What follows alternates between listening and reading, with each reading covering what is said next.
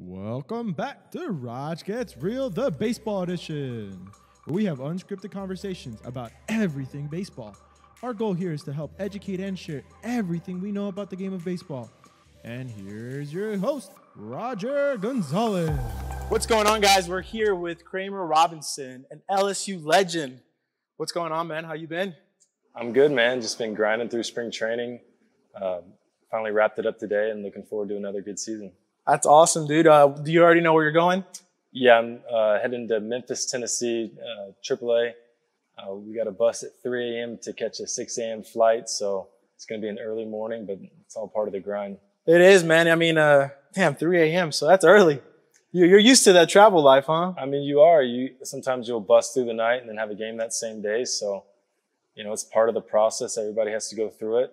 It's not easy, and it never gets any easier. Especially for me, I, I like my sleep, and I like to sleep in. So, uh, those bus rides in these early mornings are tough. But, you know, like I said, everybody has to go through it. So let's talk a little bit about the LSU journey for you, man. Um, you know, I know we were talking a little bit earlier about how your journey wasn't that easy. Um, kind of share a little bit about how it went for you. Yeah, so I came in like any highly touted freshman. You know, I thought I was all that. I thought I was on cloud nine, that, you know, I was a lot better than I was. And I got to LSU and I was humbled quickly. Uh, I was behind All American, big league all star Alex Bregman at shortstop, which was my natural position. So I moved over to second base for the first time in my career. Um, I was exposed. I realized I wasn't as good as I thought I was. Um, worked really hard, you know, the whole time that I was there my freshman year, but never really got that breakthrough that year. Um, I went to the Cape Cod League that summer, had a great summer. Uh, came back ready. I came back ready for my sophomore year. I was supposed to be the starting second baseman. I had a good fall and then went into the season and things weren't going the way I wanted. Then I had an elbow injury. Um, came back right in time when the team was going to Omaha and Coach Mainieri made a very difficult decision not to take me to Omaha with him, and it it crushed me at the time. Uh, you know, I had to make a decision whether I wanted to come back to LSU, and after you know really failing for two years, uh, and I, I don't think you see a lot of kids that are 19, 20 years old after failing over and over and over and over again, you know, come back and be like, I, I can do this. You know, I, I'm built for this. I'm I'm good enough to play here. I'm good enough to not only play here, but I can make an impact here. I always knew uh, in my heart that I could, even though, you know, whether it was the fans, the media, maybe even my own teammates and coaches, I don't know if they believed in me or not. Um, but I believed in myself, and I wanted to prove to everybody that I could do it. So instead of hitting, you know, transferring and going to another school, uh, I stuck it out, and you know, felt like I had a lot to prove that year, my junior year, and it uh, ended up being a great success. I was uh, first team All SEC, second team All American my junior year, and really started to make a name for myself at LSU. Felt like I was a leader, great teammate, and I learned a lot about myself those first two years because you'll learn the most about yourself when, when you fail. You know, everybody's happy, everybody can be a good teammate when things are going well, but you you learn a lot about a teammate or you learn a lot about yourself when you see them after a bad game or after a bad season. You see what kind of person they are, what kind of teammate they are, and I learned a lot about myself those two years. And I don't think I would still be sitting here playing baseball if I didn't learn from those first two years in school. Uh, because when you get to professional baseball, it's and it's a grind, and you fail a lot, and nobody's going to get you out of it except for yourself. You, know, you don't have mom and dad here. You don't have a break in the middle of the week like in college. You're playing every day, and you're playing against the best guys in the world. So without those experiences, my first couple of years in college, I I really don't think I would still be in, I would still be playing baseball. As you kind of telling your story there, let's dive a little bit deeper. Why didn't you transfer out? I don't know if it was pride. I don't know if it was I knew I was good enough, but things weren't working out yet. But it, I just went with my instinct. You know, I'm not somebody who quits. You know, it's easy to quit. It's easy to go find another place where you're going to be given a starting job right away. It's just not who I am as a player and as a person to just give up on something when I dedicate my life to something and dedicate baseball to the university in the state of Louisiana. That's what I wanted, and that's what I told myself I was going to do. So it's it's easy to give up, but why I didn't do it, just not. I just don't believe in quitting. That's what. That's how I was raised. That's how I've been my whole life. I'll play the, this game until somebody doesn't give me a jersey. I, I just don't quit. Um, that's that's just who I am as a person. That shows a lot about kind of the way you were raised and, and who you are. And and specifically, do you think that um, staying at LSU has really has impacted? Like, if you think you would have transferred, do you think you would be at where you're at right now? Do you think LSU helped you get to where you're at? Yeah, for I mean, for so many reasons. If I transfer and I go somewhere else, and even if I have success immediately there, you don't learn those lessons. It's just okay. Well, this didn't work out. Just on to the next one. Like you don't learn from that failure like you have to in pro ball. Um, like I said, that's just how how I was raised as as a player and staying at LSU and having the opportunity to play for Coach Mainieri, a Hall of Fame national championship coach, who was so hard on me. Like people don't understand. You see this guy with this funny laugh and funny voice and smiling, always happy. That guy was so hard on me. Not only my first day of college, my freshman year, he was hard on me all the way until my last two All American seasons. He treated me the same way until I was out of there. So having the opportunity to play for Coach Mainieri for four years, I'm extremely blessed. Nobody has had more of an impact on my baseball career than Paul Mainieri has, and I will take that to the grave. That guy made me into the player that I am today, and I hated him for two years. I couldn't stand him, didn't want to go to the field, but he was doing it because he saw potential in me, and I didn't realize it at the time. That's why he was pushing these certain buttons. Uh, but I couldn't be the infielder I am. I couldn't have the mindset that I have uh, in professional baseball today without the guidance of Coach Mainieri. He has had such an impact. I mean, you look across the big leagues and so many players that have played for Coach have had that impact. Um, so I'm, I'm grateful that I stayed to learn those lessons, and I'm also grateful that I stayed to play for Coach Mainieri. And now Coach and I, we couldn't have a closer relationship uh, so I'm just really grateful for you know, every up and down, peak and valley that I had at LSU at the time. That's awesome, man. If you could look at the camera and we could kind of, if we had a time machine, you can go back and we can put you in the conversation um, right after coach told you that, hey, you're not going to Omaha this year. What would you go back and tell yourself? Because I'm sure you were dealing with a bunch of demons right there. Yeah, about as low as it, low as I ever was in a baseball career. Um, trust your instinct, believe in yourself. Uh, you've you've always known that you're good enough, and just keep going. You know, you're going to learn from these failures, and you're going to get to where you want to be. Everything's going to work out. That's awesome, and and I'd like to ask one more question. If there if there's a kid out there right now who's thinking about transferring, who's at their dream school right now, you know, their whole life has been thinking about this opportunity. They got there, season ends, whatever the case may be. What would you tell them? I would I would tell them to not stop believing in, in themselves. Trust trust your instinct. Don't quit. It's easy to quit. You know, if if you're not good enough and you don't think you're good enough, it's okay to transfer. But if you know you can do it, don't let anybody else tell you you can't it's it's so easy, especially with the transfer portal now, to just go and find another school. This has an this place has an opening. This place has an opening. I'm going to go there. whatever happened from waiting your turn, learning from somebody who's better than you, like an Alex Bregman, and developing. There's nothing wrong with that. You, everybody's path is different, but we're not all going to be three-time All-Americans and then get drafted in the first round it's okay to take a different path and it's okay to learn from people that are better than you. That's how you get better. Mm-hmm. But to quit and to take the easy route, I'll, I'll, I'll never stand for it. I'll never believe in that. That's awesome. And I, and I love the fact that you keep talking about how Breggy made you better. Mm-hmm. and kind of kind of share a little bit about how how that competitive nature and how kind of going against each other like that. I'm sure it's built an amazing relationship as well. Alex and I have a outstanding relationship today. Um, but just like Coach Mainieri, Alex wasn't exactly the friendliest at, at, all times. He was the veteran. I was the cocky freshman that came in. I probably pissed him off multiple times. Probably wanted nothing to do with me. Um, you know, but he he still helped me. He still gave me the advice.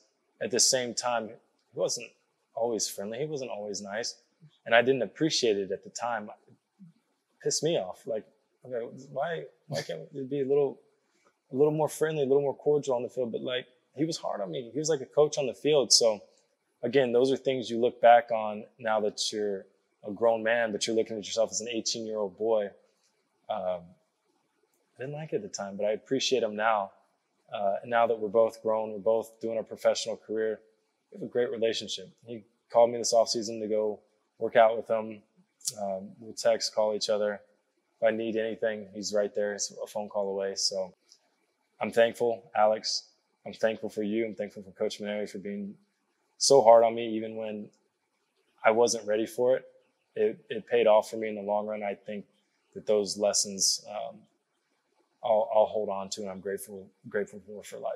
Hundred percent, man. And a lot of times you're, you're you've been talking about your belief, the fact that you can believe in yourself, and the fact that you just you knew you were good. Yep. Um, how much do you think your mom had to do with that? Well, yeah. I mean, when you live with a Hall of Fame coach uh, for your whole life, uh, that confidence does rub off on you. So, like I said, I was a cocky little 18 year old kid that came into college thinking that I was going to be the best player the second I stepped on the field. And I love that. Looking back, like I'm proud of that because I still hold that. I still have that same same mindset. It's bottled up now and it's more controlled, but I still have that mindset when I get on the field. I don't care if it's in a AAA game or if I'm in a major league game like I was today. Um, I truly feel, and I know it sounds crazy, but I always feel like I'm the best player on the field. I don't care who else is on the field. I really don't. Um, now I got that confidence from my mom and watching her, and she always told me that that's how I'm going to have to be if I'm going to be successful. I'm not going to be six four. I'm going to not going to be the biggest guy on the field. I never feel undersized in my mind, but she taught me that confidence. As did Coach Mainieri. When I got there, he's like, "I love your confidence. I want you to be cocky on the field. Now learn how to contain it." But I still carry that with me, and I still walk with my chest out when I'm on the field. Like I deserve to be here. I think that's important for any player, uh, any position, any size. You should never walk on the field and feel overmatched and be in awe of anybody else on the field. You always need to believe in your abilities and what got you there because, yeah, you might be playing against the best in the world, but you're here for a reason as well. 100%. And like you said, you know, your mom's been doing some pretty crazy things. What, um, can you look at the camera and kind of say some words to her and just kind of, what would you tell her right now if you could be with her? I love you, mom. I'm so proud of you. Uh, I wish I could be there to celebrate everything with you. I know I'll see you soon at my games. Always your number one fan. You know this. Uh, and I'm so happy you're doing it for the state of Louisiana and my alma mater, LSU. I love you. That's awesome, man. And if you can kind of being able to, to be raised by a woman like that, mm-hmm. such a powerful woman, um, what are two or three things that just really stand out to you that she taught you that has completely changed your career? I don't know if there's anything that kind of come to mind. I know it's it's a tougher question. Yeah. So the first thing that she taught me was confidence and was to act like you belong there. Um, the second thing is she's just real. Like, and I think she, any of her players or any of her um, any of her coachings, any any of her coaches would tell you the same thing. Anybody, any recruits' house that she walks into she's just real. She's going to tell you how she feels. She's not going to sugarcoat anything. She never has with me or anybody that's in, in her corner or on her team, whether you want to hear it or not. She's going to tell you the truth. And you have to appreciate that. So I think that uh, when I'm in my baseball career, I want managers, I want coaches that just tell me the truth. Don't tell me a good job. Don't tell me like, hey, we, we like what you're doing. Maybe no, just tell me straight up. You're not good enough. You're good enough. This is what you need to do because that's how she was growing up. Um, and I think the third thing is she, you know, she loved me. Like it was tough love. It wasn't, if I had a good game, it wasn't come here, give, oh, you did such a great job. I'm going to take you for ice cream after a little league game. You did so good. Um, it was okay. That's expected. Now handle yourself the same way as if you were 0 for 5. You come in the same, you be the same teammate when you're 0 for 5 as you are when you're 5 for 5. Don't get too high, don't get too low. Uh, that's, that's what she she always taught me from. I mean, t-ball. I can I can remember her telling me to be even kill and to be a good teammate. Um, she just she's special. She's different. Um, she's a once in a generation type of person. I can tell you that, and I I know that I'm lucky to be her son and and learn so many valuable life lessons from her. Um, and that and you see why she's successful on the court and why she, in her first year she's the national coach of the year at LSU.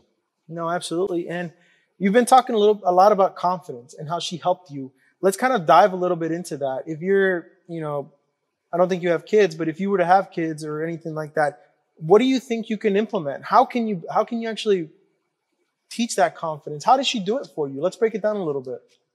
Well, she she would talk to me obviously about hard work, and I think hard work breeds confidence. It's hard to be confident when you don't put the work in with something. So if I go take hundreds and hundreds and thousands of ground balls and I'm prepared for the game, that's where the confidence comes from.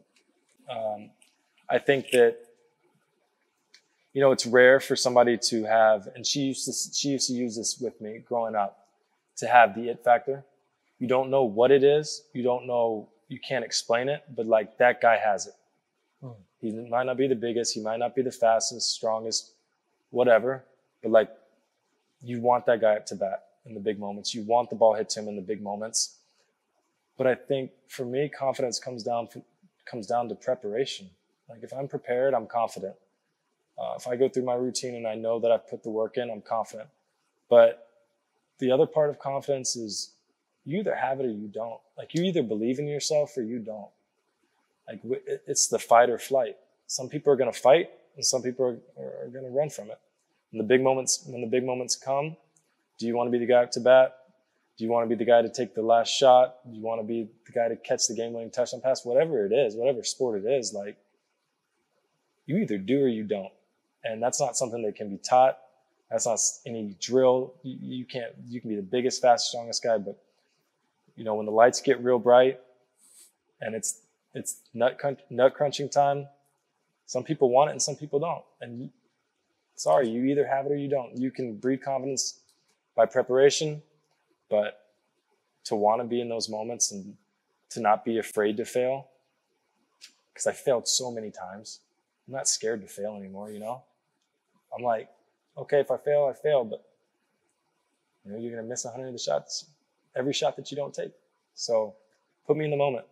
I've, I'm successful now because of all of the failure I had at LSU and everything that's happened led up to my career at this point, all the disappointments.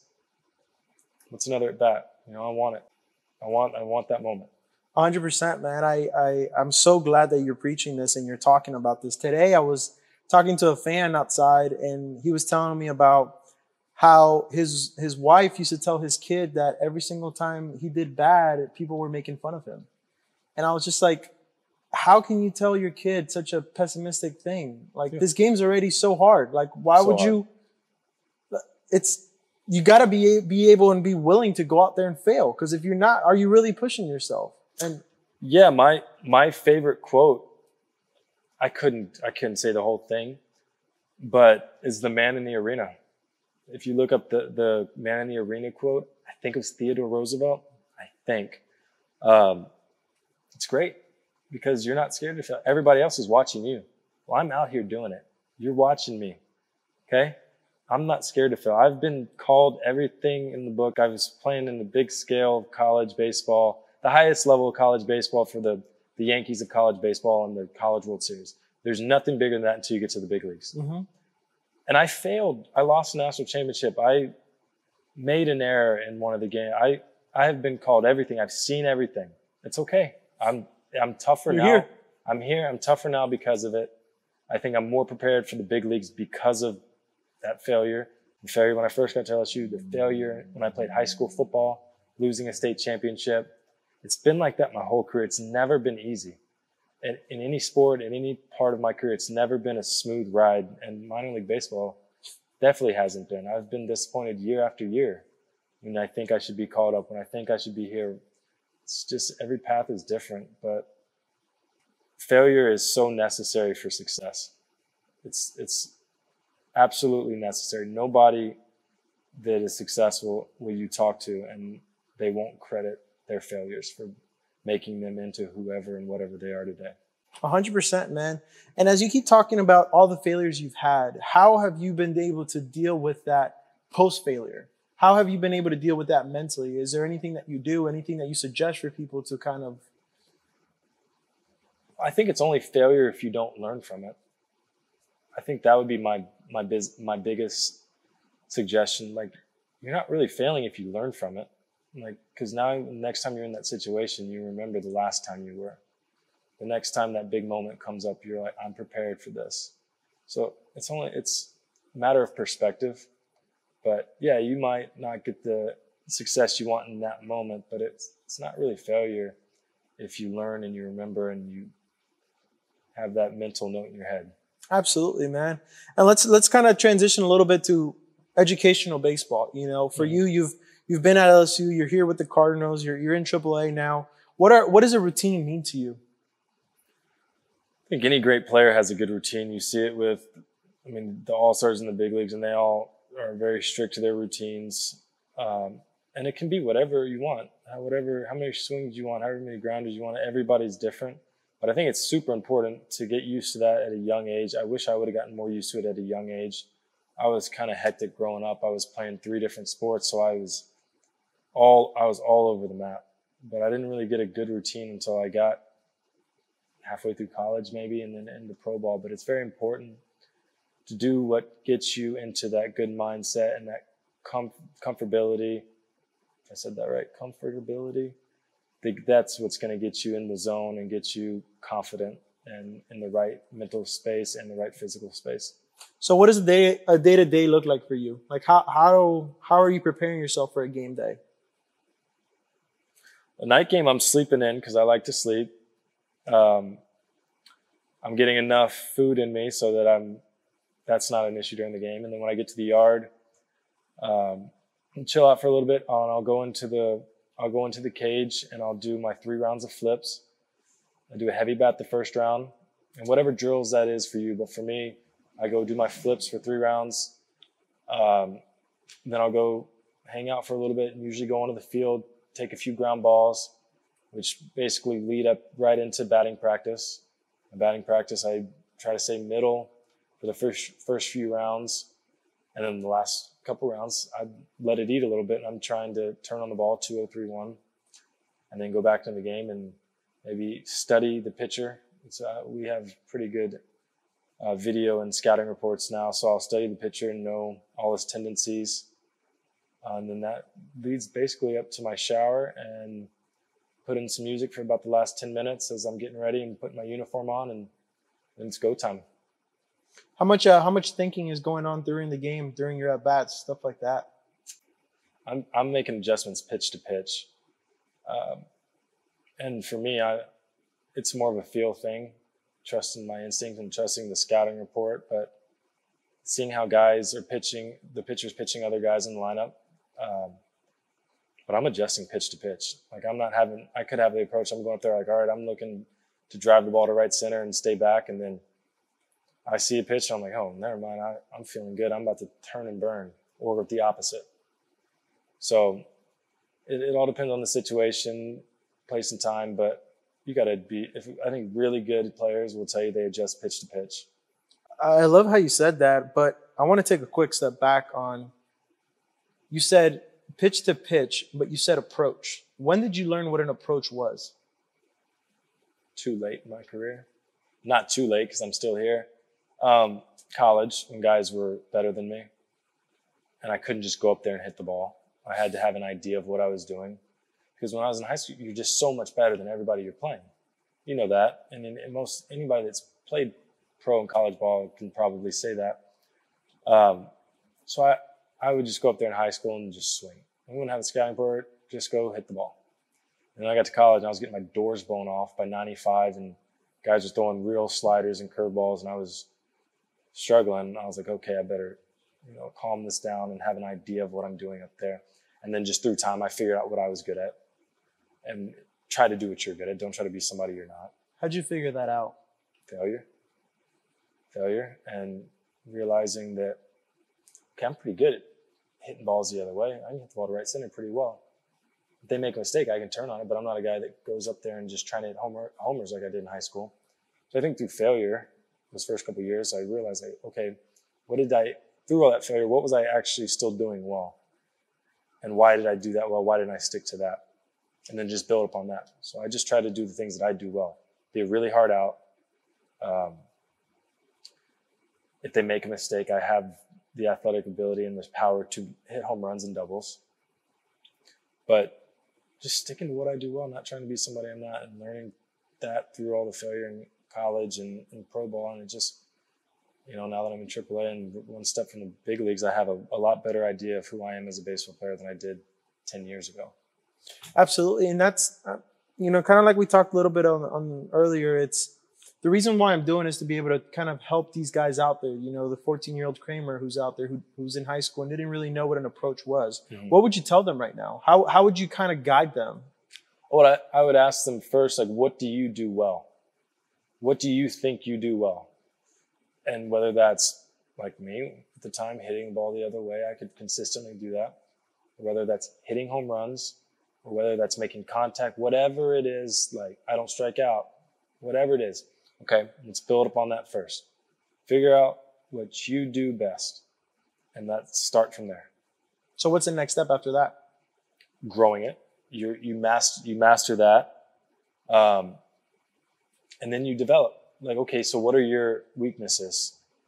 So, I remember when I got to college, I, my backhand I thought was kind of weak. So I you just work it. Just work your weaknesses. So make your weakness a, a strength. Now I'm not saying like okay, you don't hit home runs. Well, now don't all of a sudden just go try to start hitting a bunch of home runs. That's not what I'm saying. But if your weakness is the inside corner, let's start working on it. How are we going to do that? That's how you grow. But figure out which the first thing you do is just figure out what you do well. And then from that, your weaknesses that are fixable, that are, that you can grow, that you can make strengths. Um, and once you do that, you're, you're starting to become pretty good baseball player if you can build from there. What about defensively? Let's talk a little bit about the defense for you. Um, what are some of the things that you've learned throughout this journey that is, you know, you would, again, going back to a 14 year old kid, 13 year old kid, you would tell them? If you're going to make an error, do it being aggressive. Mm, I don't, if a coach gets on you for making an error and you're coming and you're charging the ball and you're being aggressive or you're throwing it hard across the infield, then that coach is wrong. He's teaching you the wrong way because when I got to college, that was the first thing Mainieri ever taught me. He's the best infield guy I've ever, I've ever worked with, hands down. Come get the ball, be aggressive. If I will never get on you if you are being aggressive and charging the ball or making a good solid throw to first base. That's where you start. Now you you can talk drills. Everybody has their own drills. Short pick, short short hops, whatever it is. But the first thing I would teach an infielder is to be aggressive. Have that mindset of I'm going to get the ball. Same with pop ups, like this ball is mine until you're called off by an outfielder. Like, want the ball hit to you. That was the thing that I had to, I've had to really make myself do. And that was a process over time. Was every pitch being able to lock in, like, this ball's coming to me right now. I'm ready for it. And when it does, I'm charging. I'm going my left, going my right. I'm charging. Um, that's the first thing. That's that's the first most important thing is being aggressive and then just practice. I mean, just repetition. How many balls, how many ground balls do you think somebody should actually be taking if they want to take this seriously? What does that really mean? Like work hard in the infield. What does that mean? I like to go not during the season because you can't overdo it during the season. You have to be mindful. I'm playing 150, 160 games this year. In the off season, I want to go until like my legs are weak. Like I'm really like like I've been sprinting because when you're tired, that's when you form the muscle memory. When you're really tired, um, that's when you get your best work because you have to use your fundamentals. When you're when you're not tired, it's easy. You can just catch it, flip it over to first base, looks smooth. But like when I'm gassed, like I have to do everything right, and I have to concentrate on the catch and the footwork and the throw. So in the off season, I want to go until I'm ah, like bending over, like really tired. And that's, again, that's a Mainieri thing. Mainieri used to work us, man. I used to be so miserable after taking ground balls, but it was something I still use in the off season. Don't suggest that all the time during the season. Um, now, if you're a high school kid, you have off days. That's different. You're a college guy, you have four, three, four games a week, different. Um, yeah, when you're taking grounders, work on your drills, work on your footwork and your fundamentals. But I don't know if there's a certain number. Everybody's different. Everybody's in different shape. But go until you're gassed, at least sometimes, because that's when you got to really concentrate. I love the fact that you said that and you keep talking about how hard you guys worked at LSU. Because I feel like a lot of people just think that they just bring in these crazy talented players and it's just like easy a walk in the park for them. But from from what you're making it sound, it's no joke. You guys are grinding every single day, working your butts off. Let me tell you, it takes a, it took a special type of player to play at LSU for Coach Mainieri. Talent was just one of the many things he was going to break you, and he broke everybody. I don't care who you were. I don't care if you're Aaron Nola, Alex Bregman, DJ LeMahieu. Go down the list to Kramer Robertson to anybody. He broke everybody and was the and was hard on everybody.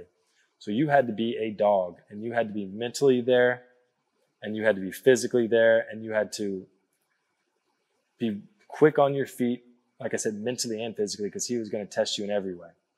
That guy was calling on you in the office or in the team meetings, like, what's this? What's the, and I mean, your mind spinning. My freshman mind was like, I got class, I got study hall, I got weights, I got Coach Mainieri, who's worse than all of them. So yeah, it, that's the talent was the baseline. That's not going to get you on the field at LSU. Everybody there was good. Everybody there was good. He was it, trying to weed you out. I just I love that so much, man, because I just feel like as as we keep moving on and as generations and society changes a little bit, they just think it just it's just second nature. They just think it just happens. It's it's not. You just work your butt off for it. My biggest problem with society today, in baseball, society in general, is people feel so entitled. You're a high school All American, like I deserve to go play at LSU and be a college a collegiate All American and be the starting shortstop or wherever and whatever sport, like, no, the hell you don't. Go earn, go earn that shit, bro. You don't deserve anything. You get what you earn. Like, go out there and work. You want to be that good. I like you have big dreams, but like, there's a lot of other really good players out there that are going to work harder than you if you don't, if you feel entitled.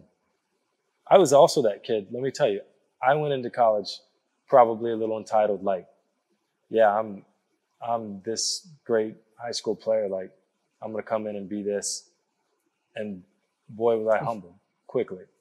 So I think that's just my biggest issue is you think that you're just supposed to be given something and you're not. Go earn it. If you can look at the camera and talk to a 12 year old kid out there, one message for them, what would it be? Believe in yourself. Don't let anybody tell you that you can't do something. Only you know that and you decide that. That was awesome, man. Cool. I really appreciate yeah. you doing this. Thank you so much, man. Honestly, for um, sure, bro. I think there's a lot, a lot for for these guys to learn from this. I think that if it's if it wasn't just the hard work, if it wasn't the confidence, if it wasn't the determination, you wouldn't be here. You wouldn't have the career you've had, have the memories you've had. Um, I'm really excited to see what, where you where you end up and what keeps going. I'm really excited to see what happens with you this year and I'm sure it's only a matter of time, bud. Thank you, bro. I appreciate you having me. Awesome.